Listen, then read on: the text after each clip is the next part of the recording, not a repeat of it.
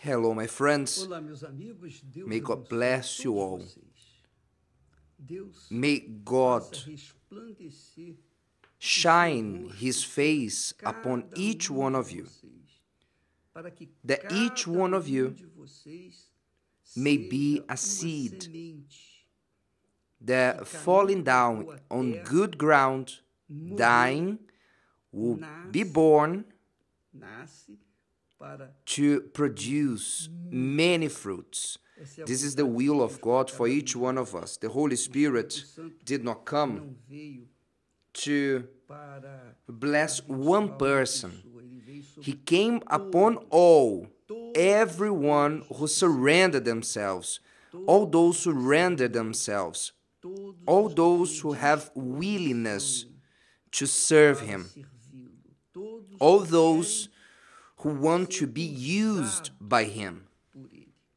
So that's how I believe when He find people that are available, willing, determined, fixated into do His will, then this person. Is rewarded with the Holy Spirit that they may know, understand what they have to do that He may be glorified in their lives. Very well. Anteontem nós estávamos falando We were the day before yesterday speaking about the foolish and wise virgins. And yesterday, before the testimony of Miss Janira, I could interrupt digamos assim, aquela that direction that the Holy Spirit gave to show to people that Miss Dejanira, a lady of 90 years old, since the beginning of the Universal Church of the Kingdom of God, 45 years ago, there she began faithful, faithful to God, persevering. She was the wise virgin that was used by the Holy Spirit, generated pastors that I spread all over this world, generated other people to get to know the Lord Jesus. And today they are she is a living witness of the greatness of God. Those who mocked her, those who laughed her her faith, today they see what God did and is doing in her life. So this testimony I couldn't stop publishing. But coming back to the wise and foolish versions, the wise and the foolish ones, I would like you to think with me on something. If you examine very well, Jesus is saying that the kingdom of heaven, the kingdom of heaven is the kingdom which our Lord reigns and is there forever. Jesus said in his prayer, Our Father who are in heaven. And he says to all, The kingdom of heaven shall be likened, it is already, it is already, likened to ten virgins. Ten virgins, biblically speaking, in the biblical language, ten virgins are ten people who supposedly are faithful to God, who are sharing the same faith, are always in the church. Anyway, in one way or the other, they are serving God. Let it be only on Sundays and Wednesdays or every day. It depends on the virgin. And he says that the kingdom of heaven represents is represented by ten virgins, who are those people who were saved, sanctified, crowned, marked by the Lord Jesus. So they are towards whom? They are Elas estão a towards an encounter with the Lord, the King, the king of the kingdom of heaven, which is the husband, which is the Lord Jesus. This all of you understand, all of you already know. Mas o que But what just a few understand is the fact fato de que that the ten virgins, virgens, quer dizer, das dez out of the ten faithful people in the church, only half of them were wise, were perseverant, consistent in their faith. But the others who were not wise, sábias, deveriam ser, não, as- the unwise, the unwise ones. Jesus don't call them unwise. Even though they were the opposite of the wise ones, he calls them foolish ones. This word is too strong. What does it mean a person to be a fool, foolish? A fool one is someone who is out of their mind. They lost their mind, so they are fools. They don't have their mind in the right place. Without their mind, without reasoning, they do things that they not even know that they are doing because they are fools. The fool ones, the crazy ones, the mad ones are put into mental institutions. You cannot count on them. They need to be separated from society. Why? Because they can do things that will bring evil things to the community. So Jesus calls out of the five virgins fools, mad ones. They were virgins, they were faithful. In other words, let's put this way faithful to Jesus. They had their lamps on, yes or no? They had their lamps on, but they did not took oil, extra oil with them. What does that mean? Quer dizer isso? why they did not take extra oil, spare oil, to keep the flame alive? Essa é a pergunta. This is the question. Por que, que elas Why were they considered fools before the Lord Jesus? Why? First of all, vai ao encontro they go to meet the bridegroom and they don't have, let's say, fuel. The oil um is a fuel that will keep the lamp alive. lâmpada, ou a lamparina. Não levam They don't take the spare oil there in case the bridegroom delays himself, caso do noivo, in case the bridegroom takes a little bit longer, so to keep the flame alive, what does that mean? Por que que elas Why they did not take spare ah, oil? enquanto os Meanwhile, the wise ones they did. Why? So Então eu vejo I see on these five foolish ones, I will define them as people who were eram desleixar, des, des, ou they were careless. They were not careful, attentive. And because they were not careful, attentive, not having their eyes focused, fixated on the kingdom of heaven, of God, Elas foram com o que tinham. they went with what they had. Elas foram na, na They went along with the other five wise ones and they went together. They went in the procession. That's how it works. Do you know that story? There is a procession following a coffin. Let's put this way. So those who knew the deceased one, they were there downcast, crying for them. All were walking. But the five foolish ones were like those who saw the procession. Many people who entered, joined the procession, but they didn't have a clue on what was happening. They didn't know the deceased one, they didn't know the one who had died. They just followed the coffin, because they were seeing others following it. So I see these foolish ones as careless ones, people that they don't really care, people that take their faith, but not with that much faith, if you know what I mean. Because when it comes down to the kingdom of heaven, I think like this, I believe like this, and I'm gonna live like this until the last day of my life. The kingdom of heaven for me is the most important thing for me in my life.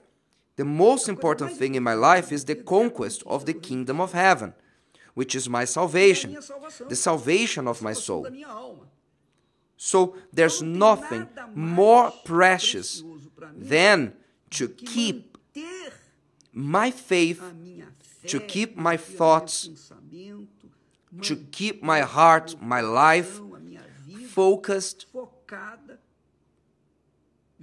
right on my encounter with the Lord Jesus, which is my salvation, which is the kingdom of heaven. This is the first thing in my life. Coisa da minha vida. I have my family, Tenho a minha família, thanks God. graças a Deus. God gave me a wonderful family, thanks God. Graças a Deus.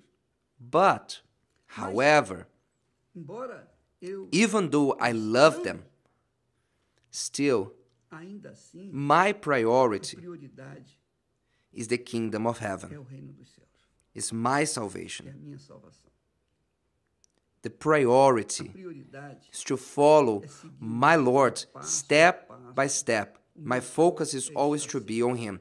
For example, daily I'm here talking to you, preaching the gospel, speaking, instructing. Daily we are giving what God has been giving us, sharing it with you.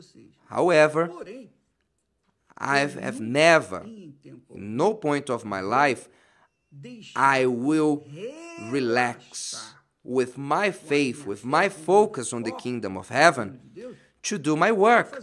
No, I will do my work, but putting myself ahead of this work because I am focused on my Lord. I wait for Him. Each day I live, each day I'm closer to my encounter with my Lord Jesus throughout eternity. So each day that I live, each day that I conquer, I know that the body vai is perishing eh, day after day. The strength is diminishing little by little, but the spiritual strength of my intellect, my thought, does not come out of this.